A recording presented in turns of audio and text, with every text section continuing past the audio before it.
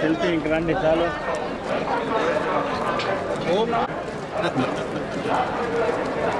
మా శ్రీధర్ పోనీకుండా నిలబెట్టినారు స్వామి మీ గురించి. ఢిల్లీ మా ఢిల్లీ దగ్గర సబ్జెక్ట్ ఇవ్వమంటే నేను అదే.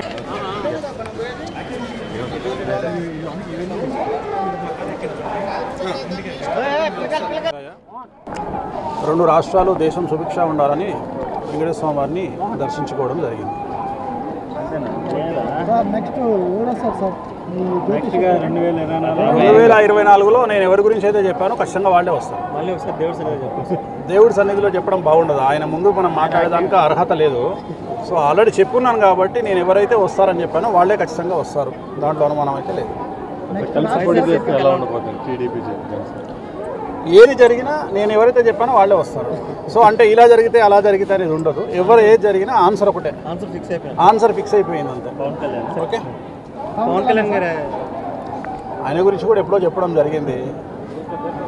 సో అన్ని రిజల్ట్స్ మీరు చూస్తున్నాక కూడా నన్ను ప్రశ్నలు అడిగితే నేను సక్సెస్ అయినందుకే కదా స్వామివారి దగ్గరకు వచ్చి దండం పెట్టుకున్నది? సో మీడియా ముఖంగా చెప్తే బాగుంటుంది స్వామి. యూట్యూబ్ కాకుండా. ఓకే?